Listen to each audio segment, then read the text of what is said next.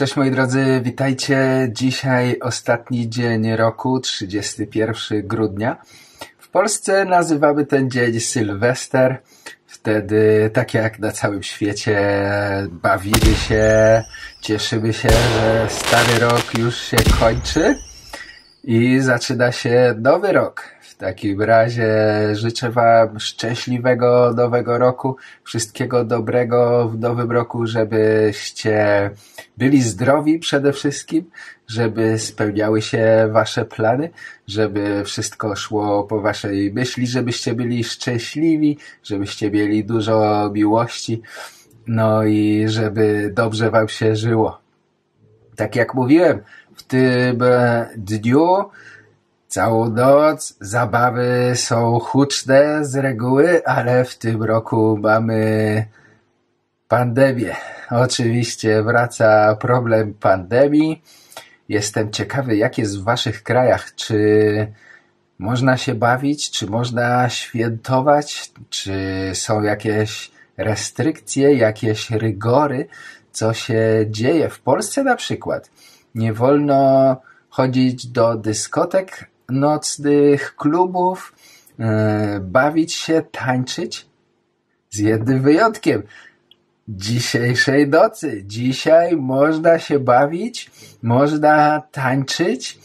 Jest tylko jedno zastrzeżenie.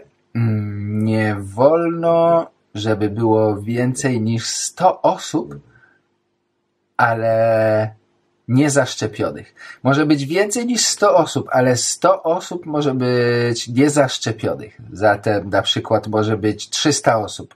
Jeśli 200 będzie zaszczepionych i 100 osób niezaszczepionych. Hmm, oczywiście nie, nie wiem, czy ktoś będzie sprawdzał to, prawdopodobnie policja nie będzie chodziła po klubach nocnych i sprawdzała, kto jest zaszczepiony, kto nie.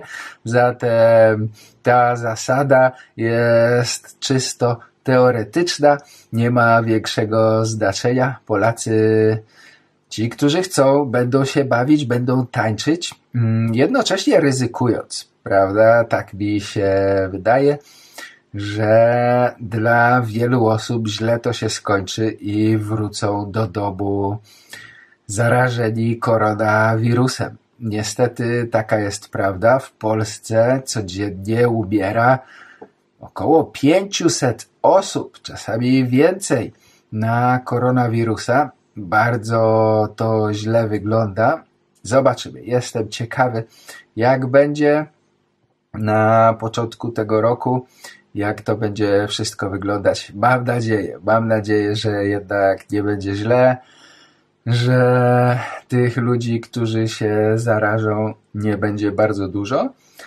Chociaż nadal mm, myślę, że nawet ponad 40% Polaków nie jest w ogóle zaszczepiona. Zatem ryzyko jest dosyć duże.